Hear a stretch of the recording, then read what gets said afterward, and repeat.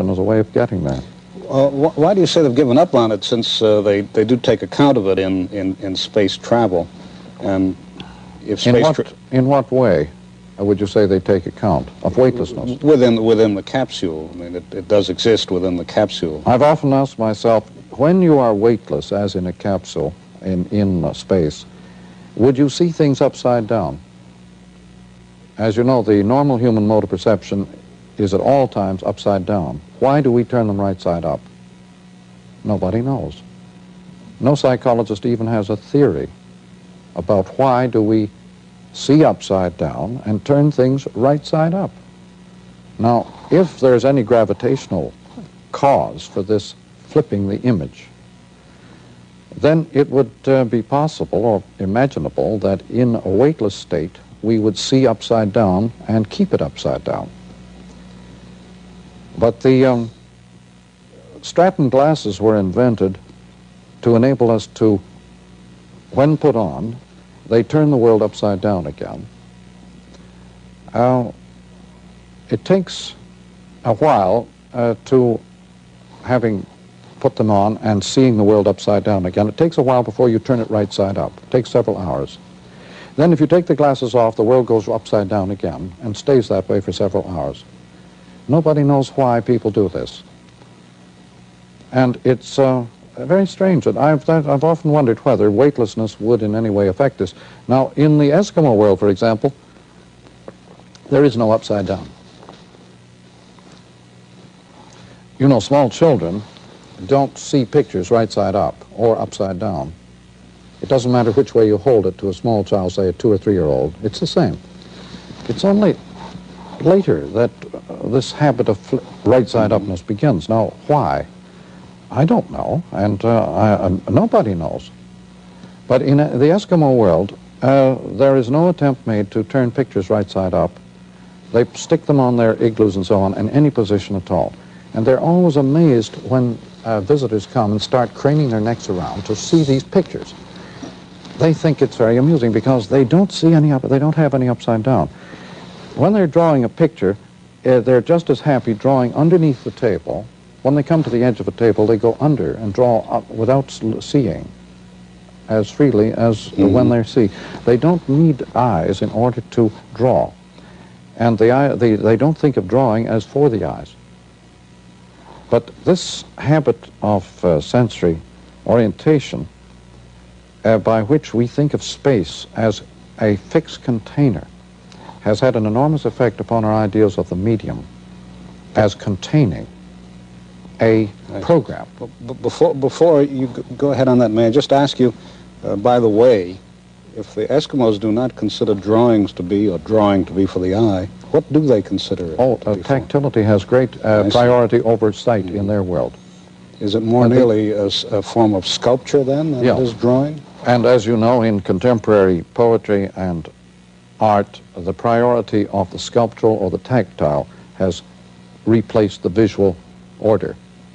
The scandal of uh, Cubism or the scandal of uh, much symbolist art was the scrapping of visual space, the throwing aside of the visual in favor of the audile tactile.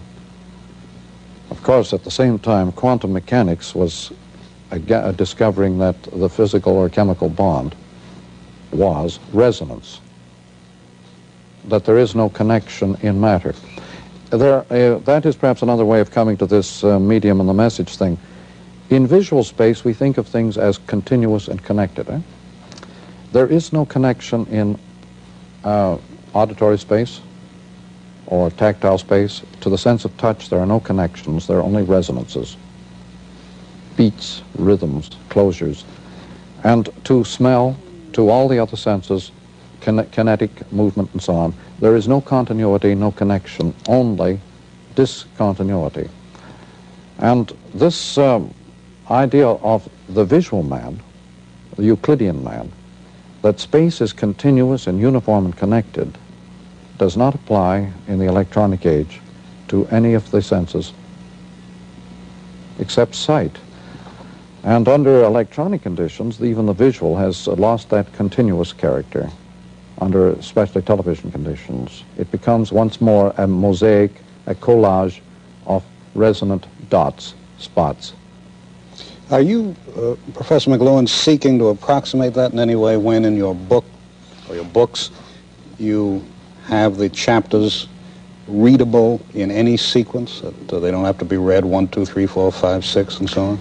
That, um, in this particular book, uh, The Cliché to Archetype, was the result of having simply created a file of chapters alphabetically and having noticed that they had a kind of dynamic pattern or logic from the absurd to theater. The first chapter was absurd and the last chapter was theater.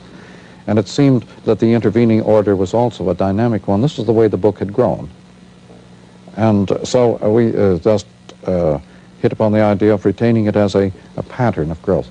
This, the idea of um, pattern recognition, one of the peculiar new awarenesses of our time, is the result of speed up. When things move very quickly, their pattern or form of them appears very plainly. Whereas when things move very slowly, it's not so easy to see a pattern. This uh, has something to do with uh, a lot of the uh, confusions of our world. Um, when people who had previously been quite content in a fixed position in a job or a career are suddenly confronted with very fast-moving situations where they can see overall patterns, they suddenly become very discontented with their place, their fixed position. So the dropout is a normal a kind of response to pattern recognition. This is the this is the global village that you. No, but I mean, in, in all aspects of our society, the people who are dropping out right, left, and center are people who suddenly have seen a pattern in their lives. Instead of just a fixed position, visually oriented, everything in its place, a place for everything, a classification, a job, people suddenly want to be involved in more dynamic patterns. For example, a talk show is an example of this new need or demand for involvement in dynamic situations in which two people begin to inquire of each other in such a way that both of them can make discoveries about the other. Now, is there a need on the part of the viewer for that? The viewer can participate more fully in such a uh, dialogue than he can in just listening to a packaged delivery. Packaged material, whether it's in the advertising world or in the educational world, is no longer acceptable. The consumer status has been greatly downgraded we live in a world in which the consumer habits have been yielding steadily to producer involvement.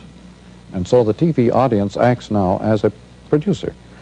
Had you ever thought of the instant replay in football as creating a totally new form of audience participation in the dynamics of a game? Well, I, I don't quite see how, they, how the instant replay enters into the dynamics of the game. I, well, it, it, very much concerns cliche to archetype. That's why I've circled yes. around to it. Yes, I, I, I have. I've noticed that you say that. In fact, I think I've outlined well, it. In, yes, well, it isn't really an outline of the book. It's an outline of these themes uh, as they appear in many situations outside. But in an instant replay, the in effect you say, let us stop this action, halt it, arrest, hold it. Then you say, now what has just happened in this game had this effect. Let us see how we achieve this effect. Let us replay that action and observe how this particular effect was attained. Now, this is the attitude of every artist to every artistic production. He says, in effect, hold that action. I want to capture it in another medium. Are not the dynamics, let us say, of a football yeah. game, which is uh, yeah. most of what you're talking about, confined to the field on which the game is being played? Well, in the case of football, you have an audience without which